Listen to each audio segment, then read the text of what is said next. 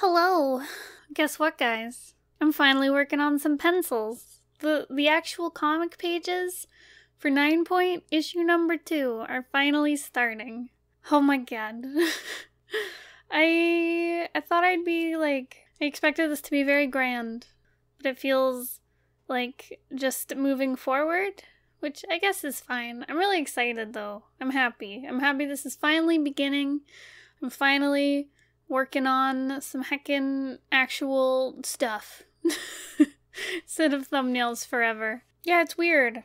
It's weird drawing Marble. That is this this the cat boy who stars in this comic. It's weird drawing Marble in actuality in the comic because in the first issue he was just a little baby. Now he's like a full person. I guess cat. But yeah, and he's doing stuff, and I get to draw him now. And it's gonna be weird when I get to draw the other characters as well on pages instead of just in character designs and thumbnails. And they're gonna be real, and it's weird. I think it's just been so long of working, doing all the prep work and the thumbnails and the color thumbnails and the character designs and the setting designs that I'm like, it's never gonna happen. Now it is, and it's weird and cool. I think think I don't know. I had to switch some gears in my head um because I forgot that I do 9 point in Photoshop. Um, and the reason I do that is because there's some weird color printing thingies that I don't like with Clip Studio where it exports like uh, CMYK kind of weird, whereas Photoshop I just understand it more. So yeah, I'm doing all my penciling and colors in Photoshop. And so I had to remember how to use the tool because I've been using uh, Clip Studio for so long. Well, don't get me wrong, they're both really great programs for different things, and I love Clip Studio. And if I could use it for um, coloring printing comics and get the result I wanted, I totally would. But I find Photoshop gives an effect that I like a lot better. So that's all. They're both good. I don't I don't know. I feel like every time I talk about the Photoshop versus Clip Studio, someone's always like, oh, "But you said you said Clip Studio is bad." And I'm like, "No, it was just bad for this one instance of a thing I needed. Otherwise, it's great." And also Photoshop's not bad. It's just not my preferred tool. So yeah, there we go. I think yeah, so I had to set up all my pages and remember remember how to use Photoshop. and start making pages. And I'm always nervous when I start to set up like page layouts, uh, as in like setting up the actual canvas for making a final page. Because I'm always convinced I'm going to do it wrong. And I think it's because like early on in my comic career, I did not ever know how to set up pages. Like I'd always set them up and be like, there we go. And then Bones would go to print it. He'd be like, the size is wrong. Everything is weird. What did you do? And I'm like, I don't know. I thought I followed the guidelines. So I'm just convinced I'm always going to do it wrong. So I'm always like super careful and paranoid before I start. So I didn't film it, but you missed like 20 minutes of me trying to set up a page properly. And then making duplicates of that page so that I wouldn't like get messed up when I tried to make another page. So yeah, but here I am, and I've I've penciled the first page of nine point issue two. Ugh. I don't know how to title these. I was also looking at my file setup, like my folder setup. Sorry, uh, within my my nine point uh, folder on my computer, and I had two folders set up. One was for the prologue, which is the last issue, issue number one, and then I had one for uh, volume one of, of Nine Point was another folder, and I was like, uh, this doesn't really work. okay, so like initially, Bones and I thought we were gonna we were gonna put out the prologue as like a teaser, and then we were gonna just put out like a volume that's like a few hundred pages long uh, as the next thing, and it was going to take a few years and whatever. We were like, no, we should actually put out more small issues and then eventually compile them into a big issue. So, yeah, I guess issue number two is chapter one of volume one, whereas like the issue number one was the prologue. Uh, it, it I yeah, so I had to sit down and hurt my brain and be like, oh, what do I call this so that I structure this out properly. Um, I also wasn't sure how to number the page titles. Like these are such small things, but it's like you have to think about it when you're setting up your your organization of everything. So usually with webcomics, like with our comic uh, the Magpie and with our comic Pretty Mouth, both of them don't have chapters. We basically just work until we have enough to compile into a volume, and then we do that. And they're kind of cataloged by scene. But when I name things, I just name it like page one to page whatever, and it just goes up and up. But I was like, so if we're breaking nine point into chapters, should I still number like is page number one of issue number two? Is it called page twenty one or is it page one? So I went with page 21 just in case we ever do want to do a web comic version of it. We're still on the fence about that. Right now, I don't think we're going to release a web comic version of it, like as in post it online for people to read for free for a little while. Um, but our, our, opinion might change in the future. Right now, we're going to try selling them as issues uh, and see how that goes. And so far, it's been going pretty good. I think the nice thing about having them in issues is that you can, I guess, curate how people receive them a bit easier. Because, like, when webcomic form, people can just kind of jump in anywhere. Whereas, like, if it's an issue, it's like they buy the issue and then they can read the whole thing at once and get, like, a curated experience. I don't know where I'm going with this. It's just it's different and I'm curious about how it'll how it'll pan out. So yeah, pencils. Um I'm happy with how page 1 has turned out so far. Uh, it took a little bit to warm up and figure out how to draw marble. I probably should have had my reference open beside me, but I did not. I was I was feeling risky. I, was, I was feeling dangerous. Um, so yeah, I didn't have my reference open. Um, but I've drawn him for like a lot of promo material. You know what? I shouldn't do that because every time I'm like, I know how to draw my characters, I make a mistake. So next time I'll have my reference sheet open but yeah, I like how this turned out. I was looking at my my thumbnails and I was like, these compositions, they work. Good job, Pastor. So you did it.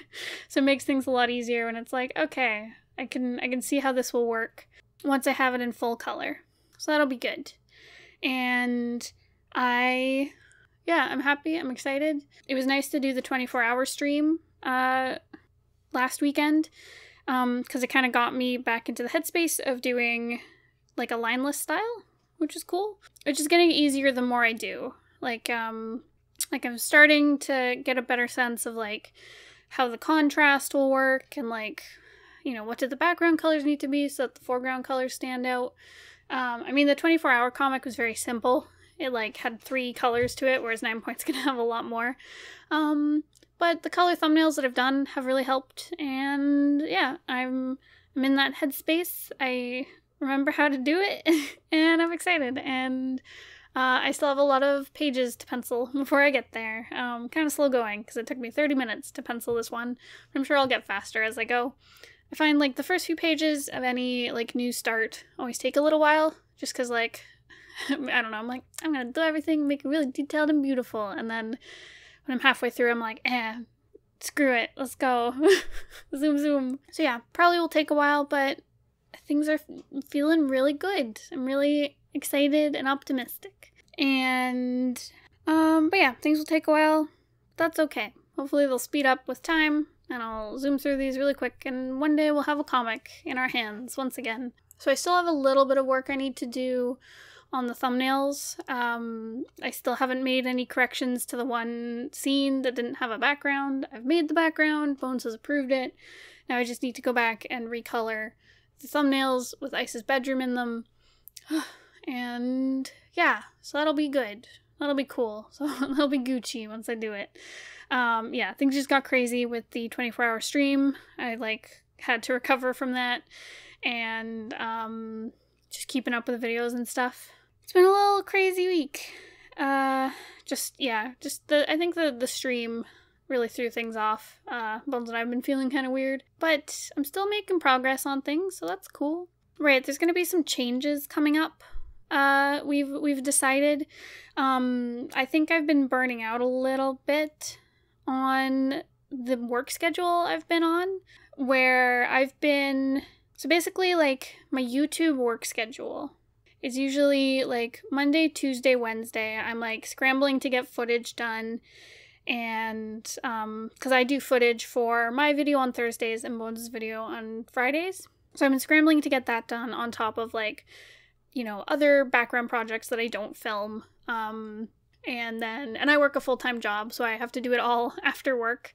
And then I usually put off the vlog until like the last minute. Like in fact, I did this one today, Sunday morning, uh, instead of prepping it early. And then Bones and I have started doing a Wednesday stream, uh, Wednesday nights, uh, for uh, or over on Twitch. Um, and we also have like a game stream on Twitch on Friday nights, and we have um, right. So we have a game stream, and that takes up time and then a Saturday stream, and then suddenly it's Sunday and I don't have my vlog stuff done. So yeah, I've been kind of running on fumes for a little while, just scrambling to get things done, and I think it's been stressing me out a lot because um, I want to bring good quality stuff and I want time to relax as well.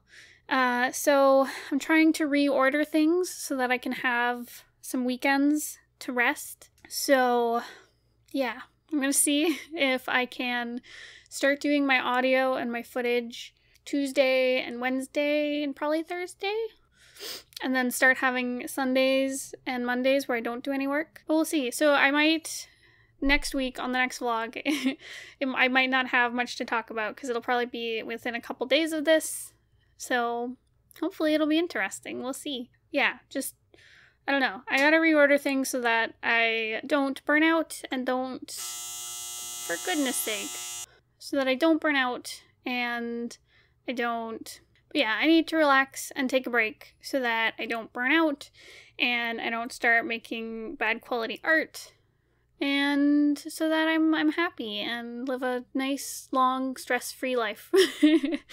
um so sorry, the dryer behind me is probably going to buzz again and my nerves can't handle this. Um, so I'm gonna go.